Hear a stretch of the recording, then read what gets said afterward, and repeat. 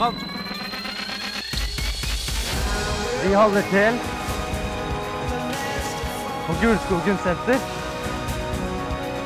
Og trappa. Og her oppe kan du trene thaiboksing, MMA og BJJ.